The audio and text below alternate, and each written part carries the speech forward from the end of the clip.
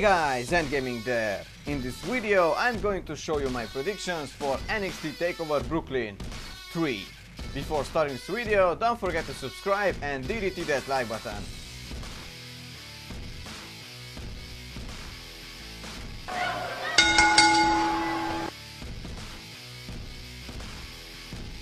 Hey guys, NGaming there. If you want to support the channel, you can buy our first merch. Check out the link in the description. Thank you.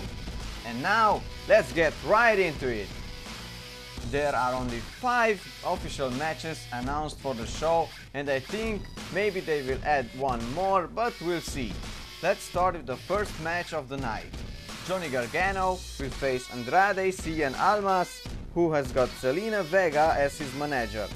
I really want to see Gargano win this match, but I think that Andrade Almas will win caused by a distraction from his manager. The next match of the show will be Aleister Black against Hideo Itami. I think that these two can put on a really good match, a hard-hitting showdown. Aleister Black is undefeated since his debut in NXT and I don't think they will let Hideo Itami win against him this time. So my prediction is that Aleister Black is going to win this match. Next match will be for the NXT Tag Team Championships. The champions, the Authors of Pain, will defend against Sanity. The Authors of Pain evolved a lot since their debut and they are like two human wrecking balls from the NXT Tag Team division.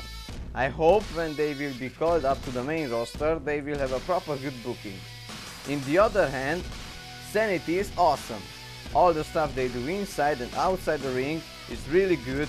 I like their gimmick and I think they are heading to the main roster really soon, maybe after NXT TakeOver Brooklyn. So my pick is the Authors of Pain. I think they will retain the tag team title belts. The next match of the show will be for the NXT Women's Championship. The champion, Asuka, will face Ember Moon. Asuka is still undefeated and I think that they will keep it that way.